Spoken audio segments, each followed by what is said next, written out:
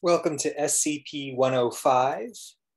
We are on our sixth discussion of topics related to life in the universe. That means we're halfway through with the course, which is very amazing. So far, we've been discussing what the definitions of life are, what life is made out of, the atoms that make life up, the chemicals that make life up and the different forms of life that can live in extreme environments.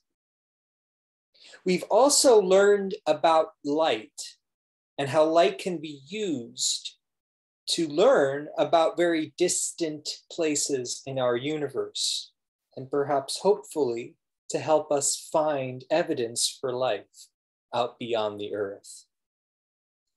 Today, we will talk about a very important aspect of the universe, an aspect of the universe that governs the motion of most things, and also the environments where we expect many living things thrive, including the living things here on Earth. This aspect of the universe is known as gravity, and it has been a very confusing idea for thousands of years the first scientific understanding of gravity really only started to develop about 400 years ago, according to all the records we have from people who have thought about this idea around the world. And then it was only about 100 years ago when the current understanding of gravity that we now know to be as accurate a model as possible was first invented. This was invented by Albert Einstein, and the theory goes by the name the general theory of relativity. When it was first invented, it was considered to be almost too difficult for anyone to understand. At least that was the story that was given in the popular press. And indeed, Einstein's theory of general relativity involves some very complicated and difficult mathematics. At least it's a lot of mathematics to keep track of. And when you start to work through it, you quickly come to realize that there are many, many, many equations that you end up having to keep track of to fully explain and describe what we call gravity. But we don't need to know all of those equations to get a sense for what Einstein's explanation for how gravity works does. And so we are going to start with our understanding that Einstein's theory of general relativity is the correct description of gravity. And as we look into that description, hopefully we'll find some interesting facts about gravity that we can do and use to make some predictions about the conditions on planets or in solar systems, or indeed in the universe as a whole. That's what we'll be talking about today.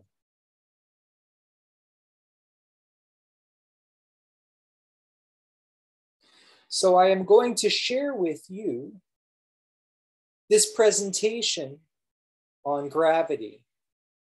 And the presentation has accompanying it some comments that I put in for each slide. This will be posted so that you could read through those comments. But I'll have some additional comments to make myself as we look at the different ways of thinking about the phenomena that are connected to gravity.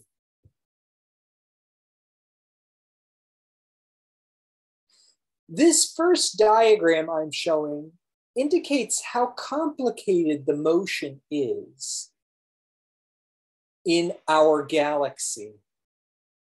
Our sun is one of 100 billion, that's 10 to the 11 stars in our galaxy, which is spread out as a flat pancake like disk the galaxy is approximately 100,000 light years from one end to the other. And the sun is moving through it in sort of a path that takes it about 200 million years or so to travel on one circuit. Now, we don't often notice this motion because the distances in our galaxy are so great that we don't see changes from night to night or even over the course of a human lifetime. 200 million years is a very long time, after all. But by measuring the motions of stars carefully and by making some very interesting observations of how everything is organized around our own star, we have been able to determine what direction the sun is moving through the galaxy.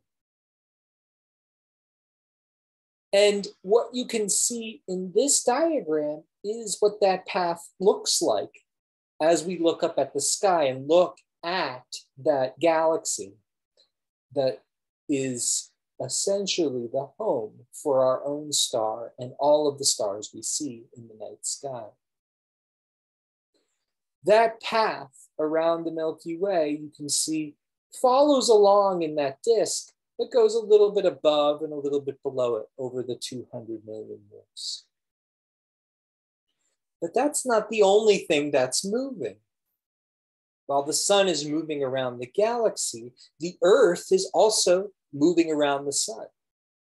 And of course, the Earth is moving at a much faster rate. This is a rate that is noticeable to human perception over the course of some days. And the entire cycle takes one year. That path that the Earth takes around the sun is also diagrammed on this picture. Of course, the sizes relative of these paths are exaggerated, or we might say projected, so that you can see them clearly. It's not indicating that the Earth is swinging wildly outside of this galaxy. In fact, if we were to draw this to scale, you would be able to see the motion of the Earth around the sun. But we do want to get a sense for how the tilt is oriented. The motion of the sun around the galaxy is not in the same plane as the motion of the Earth around the sun. And you can see that clearly in this diagram. Month by month, we have a satellite, the moon, that orbits the Earth.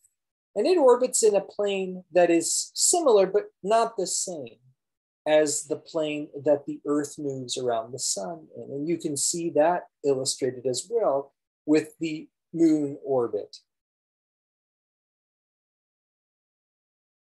The moon's orbit and the ecliptical plane are very similar. And you can see that those two ellipses, which is the shape that we see these orbits taking, are um, fairly close to aligned with each other. You can also see the direction that the sun and the earth are rotating, that is, spinning around their axes. The sun spins around its axis over the course of some weeks. It's not easy for us to observe that directly. We have to use special telescope that can see sunspot, sunspot blemishes on the sun as it rotates around. But the Earth, we know, spins around approximately once every day. We see that in terms of sunrise and sunset, and that's indicated by the line that extends to the axis of the Earth and the little circle that indicates the spinning of the Earth around that axis. Same thing is true for the sun. All of these motions are happening all at once. And some of these motions are determined by different physical processes. So the spinning of the earth and the sun are determined by the initial motions that the solar system had as it formed. And the planes that this motion happens in for the earth and the moon are also determined by those initial formations. But what keeps the Earth moving around the sun and what keeps the moon moving around the Earth is a phenomenon we call gravity. And that's what we would like to understand. It's also the phenomenon that keeps the sun moving around the galaxy, at least in terms of the changing path that these things are taking.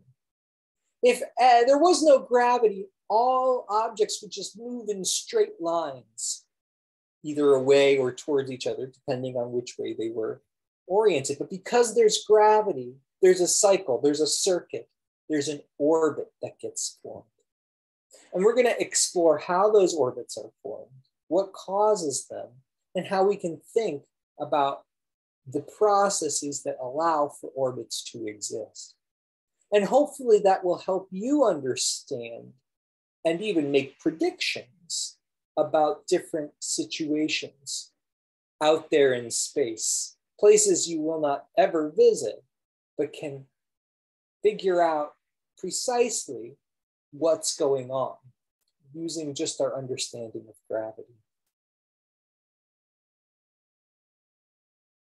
So, this is the way a lot of people first are introduced to general relativity, our understanding of gravity. The idea is that space is sort of filled with a grid, and that anywhere there is some object that has mass, and because we know that mass is a form of energy, we really mean anywhere there is some concentration of energy. That grid is bent or curved in a slight way, just as though you were placing an object in a on a sheet and allowing it to indent just like this. That's often the explanation that's given for gravity in terms of general relativity. And it's not too bad. In fact, mass and energy do curve space, they warp it in such a way to cause some of these phenomena we're talking about. But students often get confused by this description because space is not a blanket that extends everywhere, it's three dimensional. And to think about curvature happening in three dimensions is a lot more difficult than thinking about what a curvature of a sheet in two dimensions looks like. People have tried to draw or visualize what that might be. And there have been some successes and some less successful attempts at that. I can show you one example. Here's an example of somebody who is trying to describe how the space surrounding a massive gravitating object is distorted or curved by the gravity that that massive object causes. I find this a little bit confusing, but perhaps you can gain some insight by seeing an image like this.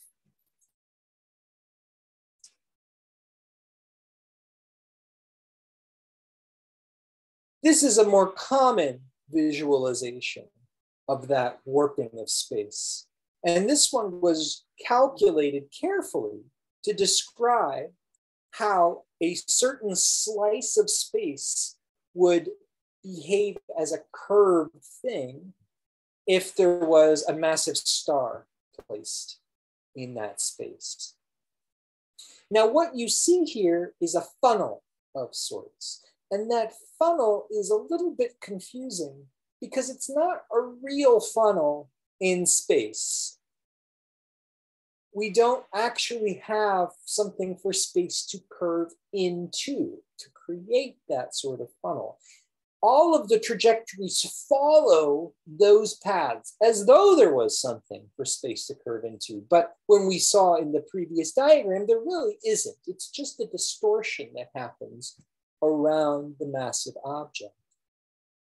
But because we only have our understanding of the world that we interact with to be able to describe these things, unless you're willing to use the mathematics that Albert Einstein came up with, we're going to use the funnel as a way of visualizing or imagining what the warping and curving of space looks like around a gravitating object. So that's what we have present here. When you look at that shape, it looks very similar to other mathematical forms that people were investigating when Newton, Isaac Newton, first came up with his understanding of gravity, and people began to develop that. Isaac Newton thought of gravity as a force between two different objects, pulling them together. And he calculated the various features of that force. But quickly, people began to realize that those calculations became very, very complicated. And there were lots of contests for hundreds of years after Newton to try to calculate as accurately as possible all the different forces that might happen in our solar system. Some of those problems are so difficult that people are still working on them to this day. Other people thought there must be an easier way to think about these things, and they didn't discover a completely easier way, but they did discover a way of thinking about things that turns out to match very well what Albert Einstein discovered about gravity. And that is to think about gravity in terms of energy. Last week, we discussed a form of energy called potential energy. The idea is that in an environment where you can move far enough away from some source of potential energy, you can gain potential energy or lose potential energy depending on where you are. In a gravitational field or in a place where gravity is occurring, you can raise an elevation to a point where you have a very high potential energy. That corresponds to the outskirts of a funnel like what you're seeing in this diagram here. As you move towards the gravitating object, you go down the walls of the funnel and you decrease in gravitational potential energy. And the exact way that you increase and decrease follows the contours exactly of the curvature of the space that's predicted by Albert Einstein. Physicists call this curvature a potential.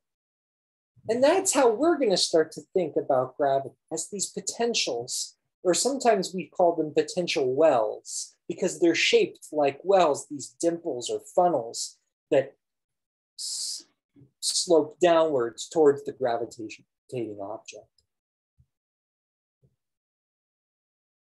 This is an example of people calculating the potential wells using general relativity. This is actual data that people have developed and calculated using Einstein's mathematics and some ideas about massive objects. In this situation, we have two massive objects, one that's a little bit lighter than the other. And I think you can tell which one has less mass than the other because the one with less mass produces a smaller potential well than the one with greater mass. What will happen in these situations is these potential wells will move around each other and they will follow the movement around each other in a way that conserves energy kinetic energy is exchanged for potential energy as an object falls to a lower value of potential energy in another gravitating object's potential. The detailed calculations of how this works are something that we won't get into, but we will use the results of this understanding to explore some of the more interesting gravitational situations in our universe.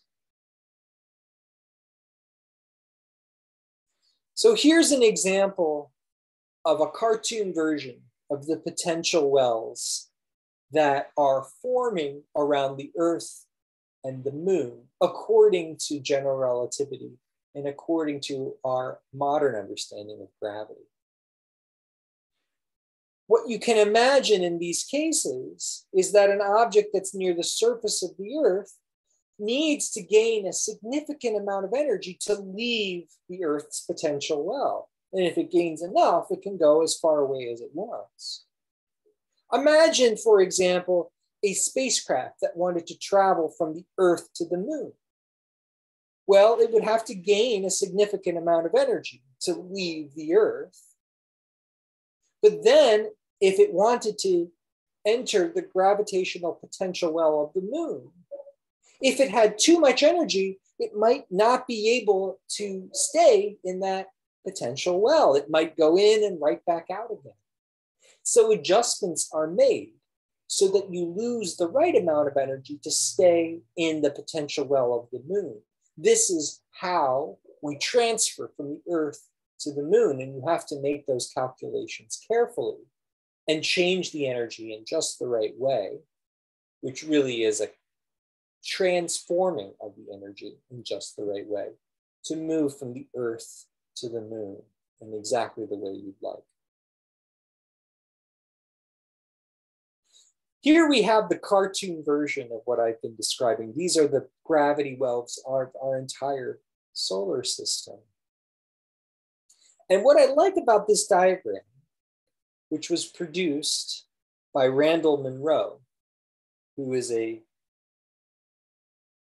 comic strip artists for nerds, is that it shows all of the different planets in our solar system and how deep their gravitational wells are, but also shows why and how various satellites, what we call moons of these planets, are bound to the planets that they're orbiting.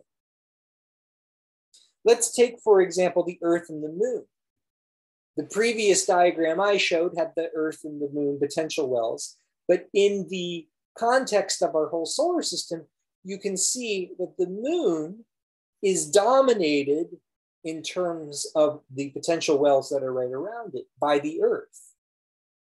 If the Moon were to try to escape the Earth, it would have to get over one of those boundary walls that you can see on either side. So this indicates that the moon is bound to the earth.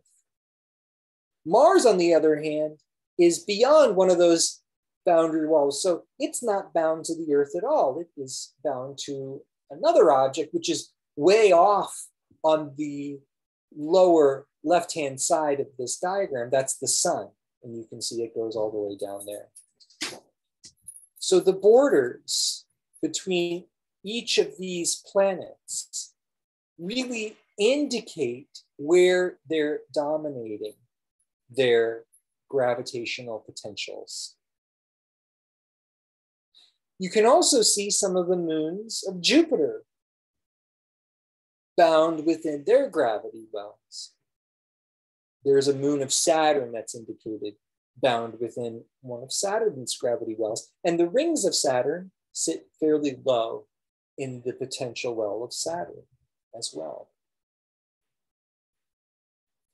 In this understanding of gravity, we have a very good sense for why things stay close to each other and why things move apart from each other if there's gravity in the situation.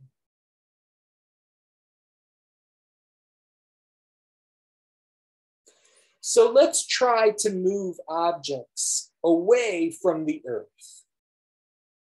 And we would normally do that today using rockets. The first person to think about the possibility for moving things away from the Earth and having them never fall back to the planet was Isaac Newton. Isaac Newton, of course, was famous for having an understanding of gravity at least according to the story, that was inspired by an apple falling on his head. And sometimes people say that Newton discovered gravity, which isn't quite true. Isaac Newton came up with an explanation for gravity. And according to his explanation, some very interesting things had to be true. One of the things he realized had to be true was that the moon had to be bound to the earth in a very similar way to the way we were bound to the earth. But the difference was that the moon was moving at a constant rate or very close to a constant rate, whereas we were staying still. And that was the entire difference between an object that was bound and weighted down on the surface of the earth and an object that was moving around the earth in what we call an orbit. Now, this understanding was sort of surprising to people, but as he explained it and used the mathematics he developed to uh, offer the explanation, people realized this had to be what was going on. Now, Newton didn't have a rocket to think about. So instead, he thought about the fastest thing he could, and that was a cannon. At the time, cannonballs traveled the fastest speed that anyone could create. Newton imagined what it would be like to put a cannon on the tallest mountain on Earth, one that extended above the atmosphere so that there wouldn't be any air resistance to slow the cannonball down. And he imagined firing that cannonball off at different speeds.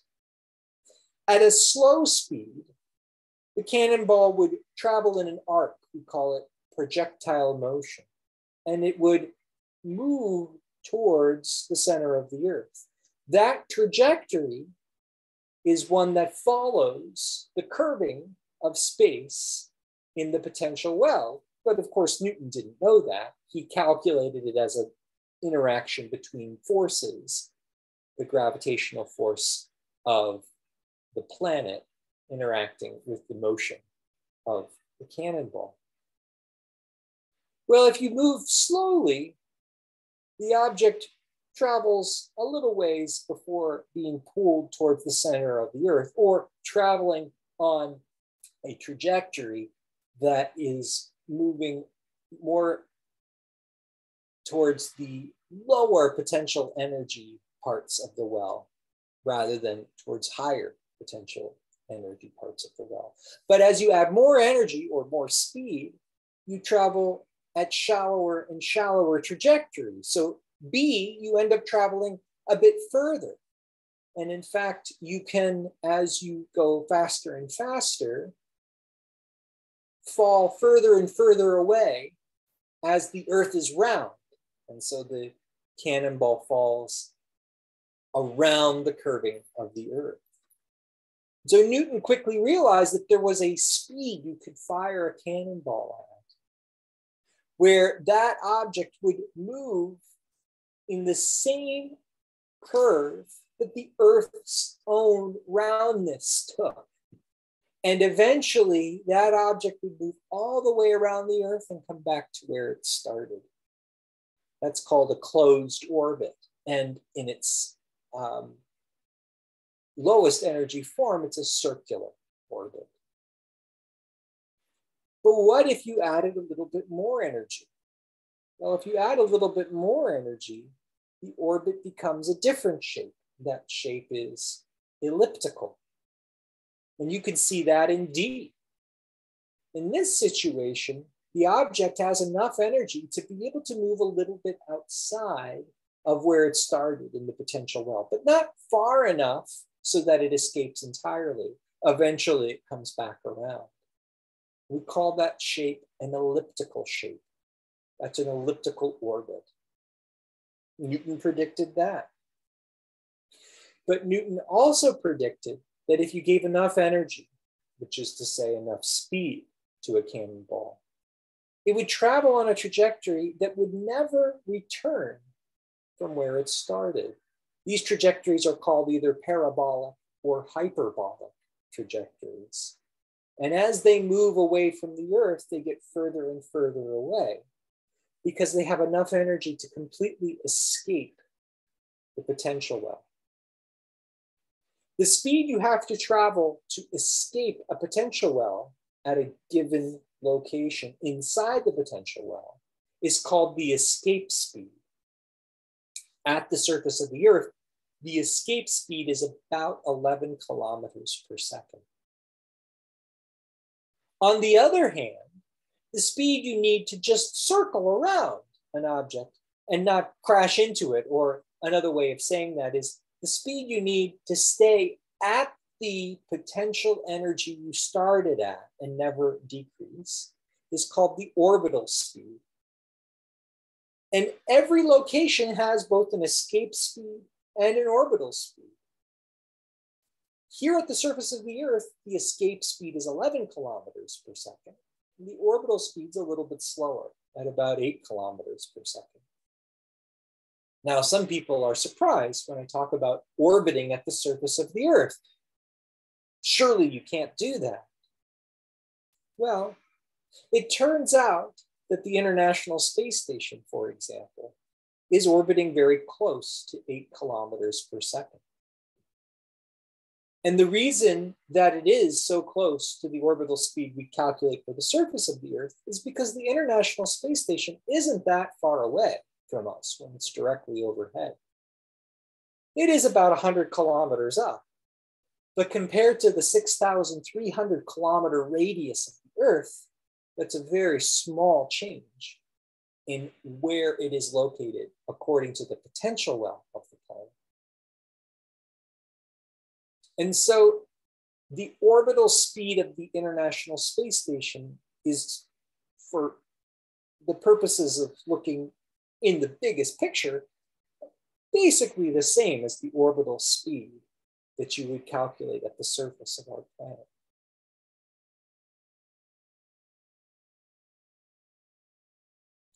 So these trajectories that objects take in gravitational potential wells are well understood and well studied. In fact, they were known about before Isaac Newton even, because all of the planets in our solar system follow these trajectories. Now, we didn't necessarily know what these shapes were when we first started looking at them in the nighttime sky. We thought they might be circles, we thought that they might be strange paths that went around the Earth. But an astronomer by the name of Johannes Kepler and a mathematician who studied these movements of the planets in the night sky with respect to the sun discovered that these movements were actually in the shape of ellipses these are the same ellipses that we see in trajectory D.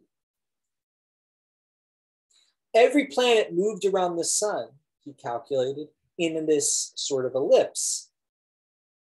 And the sun wasn't at the exact center of the ellipse, it was offset at a location we call the focus.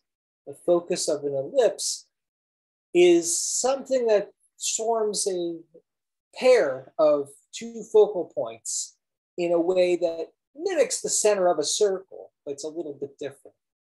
We'll explore what the definition of that is in other contexts, but you can see what the shape is in this diagram here.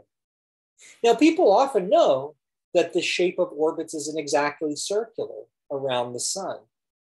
And so sometimes they'll draw pictures like this to exaggerate the elliptical nature of the path that the Earth takes around the sun. But this is very exaggerated, I want to emphasize. In fact, this is to scale what the paths of the first four planets around the sun look like. And you can see on that scale that it's very difficult to see the difference between these paths and circles. If you look carefully, you can see there's a little bit of an offset and that the paths are not exactly circular. They're a little bit squashed, but they're closer to circles than they are to ellipses to my eye. And they are definitely ellipses. But in many situations in this class, we'll assume that they're circles. There will be a little bit of adjustment and uncertainty and error in that calculation, but not enough to change the results substantially. Of course, if you were going to fly a rocket ship from one place to another, you'd want to get that exactly right. But if you just want to get a sense for what's going on, thinking that the planets are traveling around the sun in circles isn't as bad as some other approaches you might take.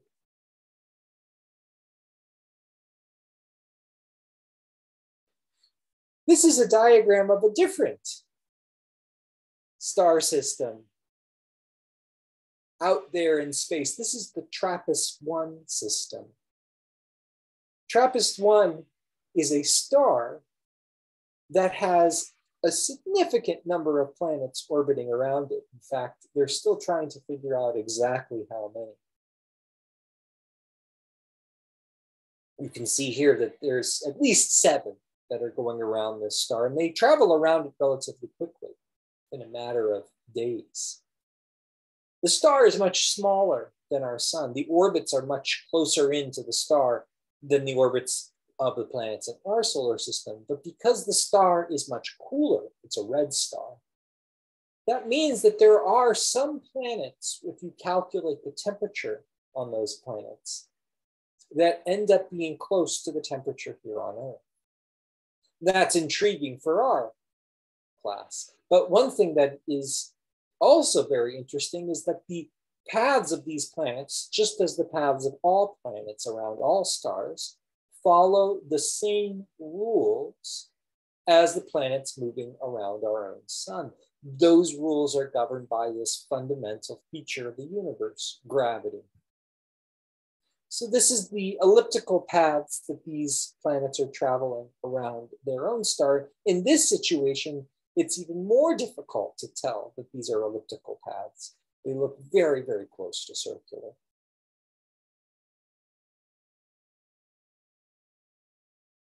Now, of course, it's not just planets moving around stars that are described by our understanding of gravity. In fact, everything that has mass, everything that has a significant amount of energy, mass energy is usually what we consider because that's the highest concentration of mass we see around us, the highest concentration of energy we see around us anything that has that concentration will interact gravitationally. And while we were looking at individual stars and planets, you can imagine scaling up to entire galaxies and calculating the motion that these galaxies would have throughout the universe. This is a artist's conception of doing such a thing. Now, this motion is happening on a completely different scale. You might recall that the sun traveled around our galaxy once every 200 million years. Talking about the motions between galaxies often invokes billions of years, much longer time frames than we usually consider. If you look at the motion of galaxies further away, you find that they're moving in ways that look almost unusually unnatural if you were to compare them to the gravitational motion of planets. And there have been lots of work done to sort of see whether that motion can be described using Einstein's theories of general relativity. What's been surprising is that when you use Einstein's theory of general relativity, there are certain predictions that are made according to the motion of the galaxies in our universe. And one of the predictions that's made is that the universe might be getting to a situation where galaxies are further and further apart from each other. We call that the expanding universe. And we see that in our own universe. That also predicts that earlier on, the universe, the galaxies were closer together. And if you go back about 13 and a half billion years ago, you get to a point where all the galaxies were basically at the same location in space and have been expanding away from each other ever since. That moment, when all the galaxies were in the same location, we called the Big Bang. The details of how all of that happened are the study of cosmology, which is a fascinating study provides us with an understanding of the reality that's around us and is really tied into understanding this theory of gravity, general relativity, which explains how galaxies form and come together, as well as why they're moving apart from each other on the largest scales. This is an important thing to understand if what you're interested in is questions of ultimate existence. Why is there a universe and how? A lot of these questions can't get answered simply by doing these calculations. But we do have a very clear understanding of different events that happened in our universe connected to this fact that our universe is expanding. And the calculations we can do to explain that are associated with general relativity. As we look out into space, we can also see some other strange things that are going on. Those warpings of space caused by gravity, those potential wells, can be traced out by more distant light sources that travel near them and then end up getting deflected. And this is a image that shows this. This is called a gravitational lens. What you're seeing here is a galaxy that's sort of reddish colored. And behind it, about twice as far away, is another galaxy that's a little bit bluish in color. The light from that other galaxy would have gone off in other directions and be invisible to us, but for the fact that there was this potential well between us and the more distant galaxy, that caused the light to actually bend in trajectory and head back towards us. And we see that as a ring around the other galaxy. This was a prediction that Albert Einstein made that if his ideas were correct, you would see these sorts of gravitational lenses out in space. And he predicted exactly what that would look like. Isaac Newton didn't really have that description when he was describing forces between two objects. Light doesn't have mass, so why should it travel on a different trajectory than um, what straight line would predict for it? Remember when we said at the very beginning that if there was no gravity, things would travel on straight lines, and Isaac Newton might say that light doesn't have mass, so it can't have gravity. But Albert Einstein says that light travels around the curvature of space and it will travel in a deflected way around a potential well and a very strong potential well like the one associated with this galaxy can cause a very strong deflection. And that's what we're seeing here. A prediction that's verified and verifying Albert Einstein's theory of general relativity. Another prediction that comes out of Albert Einstein's theory of general relativity is that very compact objects that start to orbit around each other very close will emit a form of radiation called gravitational radiation. Up till now, we've been talking about radiation as being light. And light is formed when you have accelerating electrical charges. Well, if you have accelerating masses, you can form another form of radiation that's associated with gravity. And those waves are actually waves of space, curving in and curving out, expanding, contracting those gravitational waves will travel out throughout the universe in much the same way that light travels throughout the universe. But they're very hard to detect. You need to have gravitational detectors that are miles in length, and there's two of them in the US and now a number of others around the world. These observatories are looking for these tiny distortions that are created by these extremely energetic events. For example, two black holes merging together. We can calculate what the gravitational radiation from such an event would look like. And we can measure that in our gravitational observatories. This is a new thing. It's only in the last seven years that we've been able to do this. But now we've discovered a whole new array of phenomena out in the universe a number of binary black holes that are merging together and forming these gravitational ripples that we can observe today.